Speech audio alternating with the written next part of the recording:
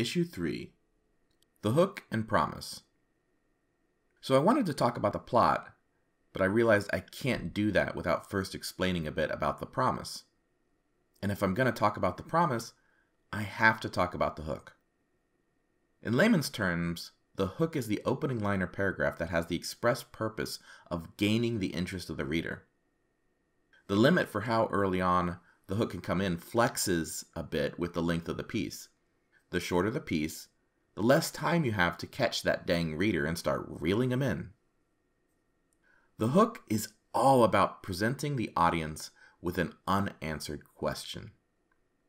This question can be as simple as, Why is Steve yelling at Martha? Or as complex as, Why is Steve grabbing a flamethrower and staring at the closet? And why is the closet growling? This is the same reason why TV shows have an opening sequence before the title. They want you to stick around, so they give you a dead body, a grumpy detective, and a bunch of scorch marks around the closet. And then they cut away to 15 minutes of commercials for butt creams. This opening question is there to keep the reader invested while you slowly set up the promise. Now, the promise is also an unanswered question. However, it doesn't have to be the same one as the hook. In longer pieces, the promise might come in much later, as late as the end of the second or even third chapter. If it does, then it is common courtesy to have the promise directly related to, or at least indirectly caused by the character trying to answer the hook. Whatever it is, the promise is going to be the fuel for your character to jump into the plot so you should make sure that you have it all stocked up and ready before you cast off.